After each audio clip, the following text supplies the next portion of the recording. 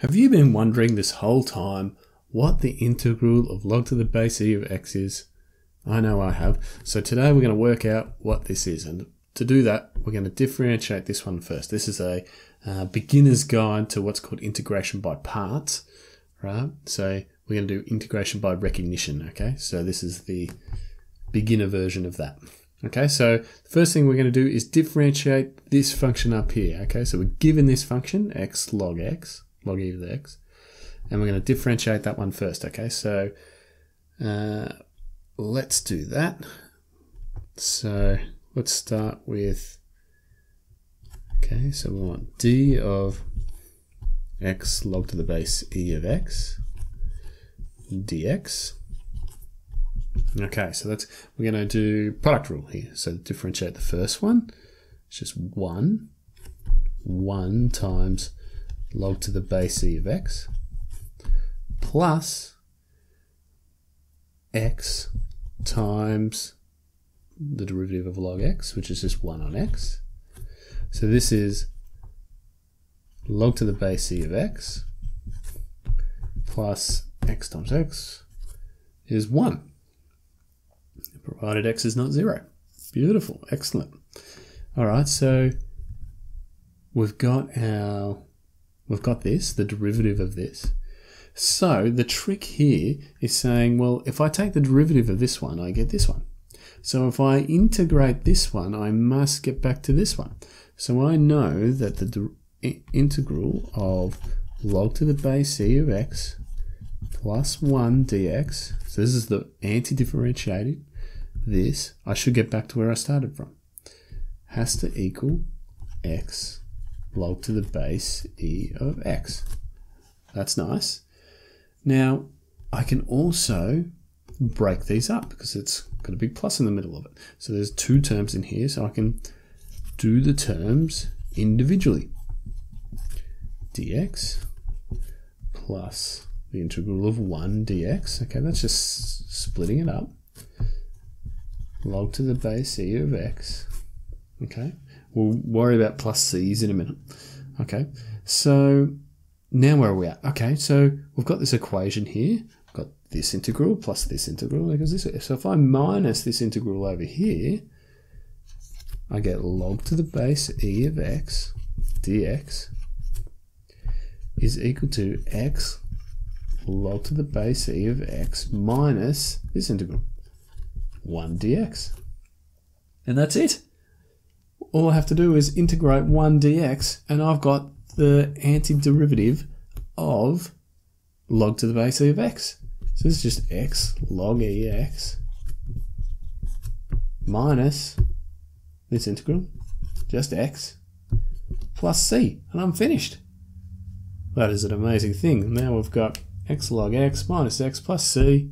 That's the integral of uh, log to the base e of x. That's pretty cool. Let's do another one. Okay. Differentiate. We want to differentiate. Let's do x inverse sine of x. And then we want to find, I always want to know what the integral of inverse sine is. Let's try that one. Okay, so d of x inverse sine of x dx equals, okay, we're going to do product rule again. So we're just going to have 1 times inverse sine, inverse sine of x plus x times the derivative of inverse sine of x, which is 1 on the square root of 1 minus x squared. Okay. Got that so far? I think we're right. So let's set up our, we know that if we anti-differentiate this, we should get back to where we started. So inverse sine of x, now I can split it up right at the start if I want to, plus x on 1 minus x squared dx. That has to equal this one, x inverse sine of x. let's rearrange it. Just move this one over this side. So inverse sine of x dx has to equal x inverse sine of x minus this integral, x on 1 uh, minus x squared dx. Now, can I take the derivative of this? Should be able to. Let's make a u substitution. Uh, if I make a u substitution here, let u equal 1 minus x squared. Therefore, du dx is negative 2x. Okay, so negative 2x, I could put du dx in here.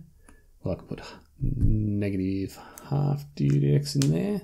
Okay, so what I really want in here is,